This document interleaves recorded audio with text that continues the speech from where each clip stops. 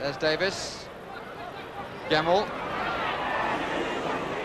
Brave header by Newton, who now has a chance. And scores superbly.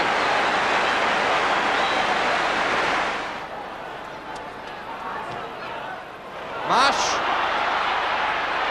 Bell.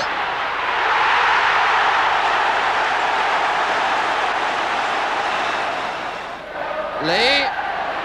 Interesting. Interesting. Oh! Look at his face!